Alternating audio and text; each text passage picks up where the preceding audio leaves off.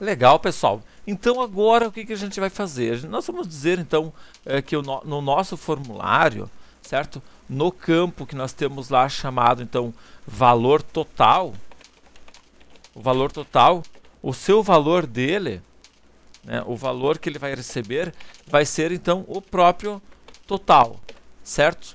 Isso eu estou falando então aqui no evento uh, on blur, certo? Isso aqui então qualquer um deles que chamar, ele vai fazer este procedimento aqui, certo? Vamos testar isso aqui para ver como é que ficaria. Por exemplo, que o valor, vamos botar aqui ó, uh, 12, certo? Dei um tab, certo? Ele calculou e botou lá, só que como está a quantidade zero, então ele não fez nada, né?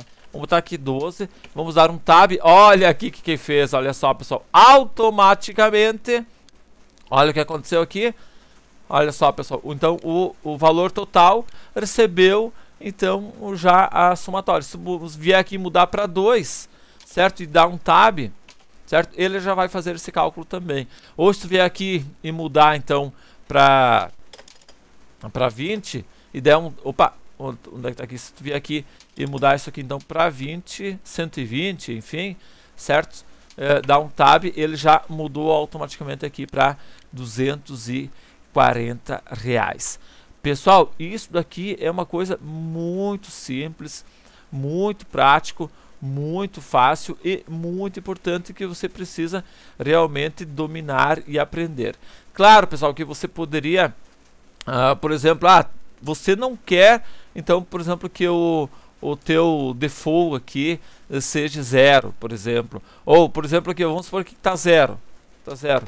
Se tu não quisesse, não precisaria calcular, certo? Deixa eu dar um tab aqui. Ao invés de se estiver completamente vazio, ele nem sequer eh, calcula nada aqui, ok?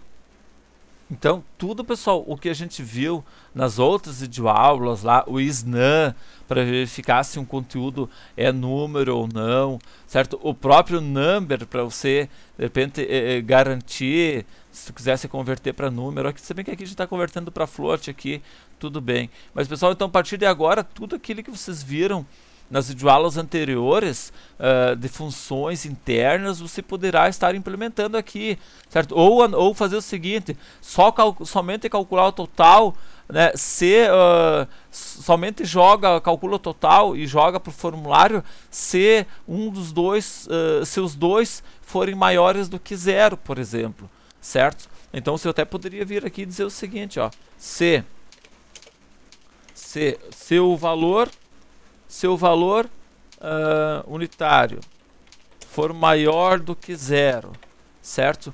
E e o, a, a quantidade também for maior que zero, aí sim você vai querer que ele efetue esse, esse cálculo aqui, senão não. Então veja que tu também pode fazer desta forma aqui sem problema nenhum. Olha só, pessoal exatamente a mesma coisa. Então são tudo, são tudo detalhezinhos simples, mas que, que, são, que são extremamente importantes aí na hora de você desenvolver a aplicação, certo? Tudo vai aqui, deu um tab, ele não vai calcular nada, vai botar aqui um, um 5 aqui. Opa, só que aqui ele também não calculou, pera aí. Deixa eu ver aqui. Ah, opa, temos um errinho aqui, vamos ver aqui qual que é. Uhum. Ah, aqui, ó, valor uni. Né? Não é valor uni de jeito maneira. Vamos lá agora.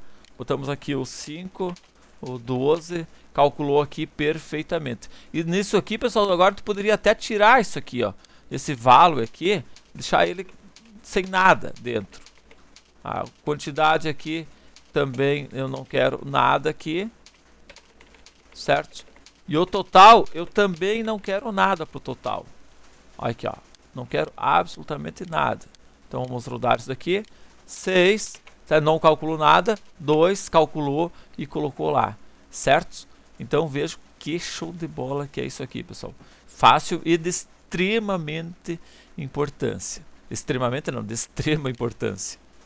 Vocês verão, pessoal, que esse tipo de situação aqui é uma das mais comuns quando você está desenvolvendo aplicativos para web, não sites, sites comuns para web, certo? Mas sim, aplicativo, dali a pouco tu precisa desenvolver um carinho de compras, dali a pouco tu precisa desenvolver qualquer sistema, porque como você sabe, todos os sistemas Uh, não vai existir daqui a um tempo sistemas que vão rodar no desktop, no PC, tudo vai estar rodando na web. Então, sistema de, de contabilidade, controle de estoque, enfim, locadora, uh, financeiro, contas a, pagar, contas a pagar, receber, fluxo de caixa, enfim, tudo vai estar rodando na web. E aí, aí você precisa dominar bem essas, esses recursos aqui de, de, de somar, de multiplicar, de eventos, porque na verdade todas as aplicações irão migrar para a web. Valeu?